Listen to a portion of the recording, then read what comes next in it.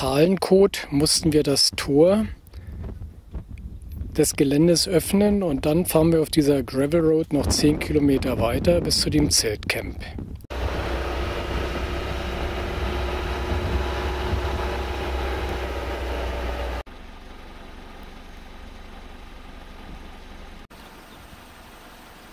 Erika ackert.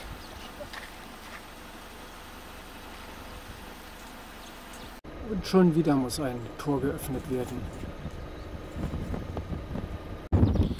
Jetzt sind wir gelandet. Schöne Zelte direkt am Hang aufgebaut, sodass man in das Tal gucken kann. Es ist ein bisschen windig hier oben.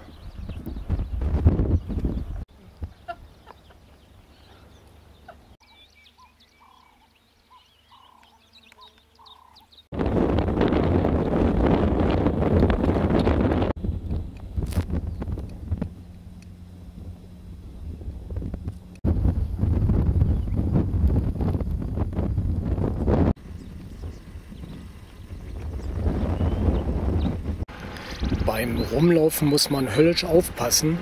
Hier sind überall dicke Raupen in den Büschen.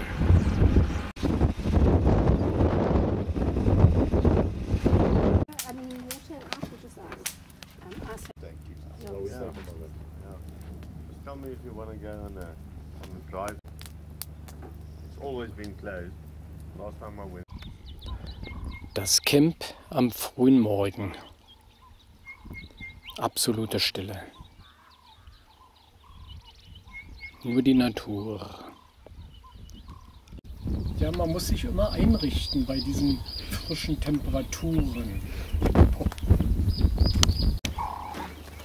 Ach, endlich mal entspannen tut es nach dieser langen Fahrt hier. Es war nachts so kalt, dass auch die Raupen sich erstmal in der Sonne aufwärmen müssen.